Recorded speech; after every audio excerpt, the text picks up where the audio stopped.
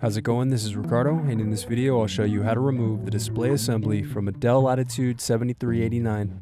If you're looking for parts for this laptop, go to our website and use this coupon for a 5% off discount.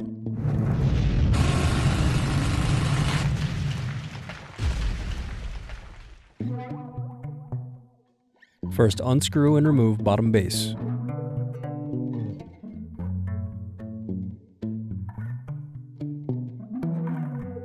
Then unscrew and disconnect battery.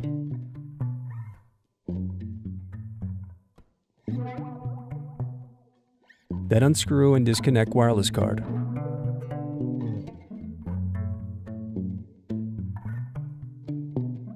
Then loosen antenna cables.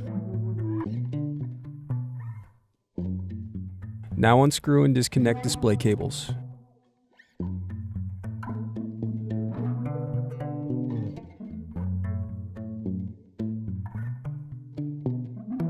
Now unscrew and remove display assembly.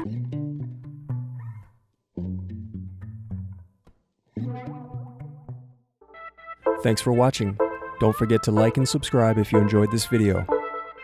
And if you need more, check out this playlist to watch other tutorials for your laptop.